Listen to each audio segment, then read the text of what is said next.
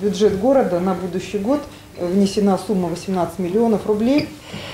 Э, в проект бюджета э, на три года да, в данную программу для того, чтобы мы смогли э, продумать систему выплаты субсидий э, для врачей либо в качестве подъемных, либо в качестве разовой э, субсидии на э, софинансирование, на, на софинансирование для приобретения жилья, возможно, на вторичном рынке. Но надо отметить, что Э, да. эту меру мы принимаем, впервые. Мы применяем ее впервые абсолютно, да, Ищем Сергей Васильевич. закрепления все-таки докторов, чтобы они чувствовали здесь себя не Да. а оставались на постоянном.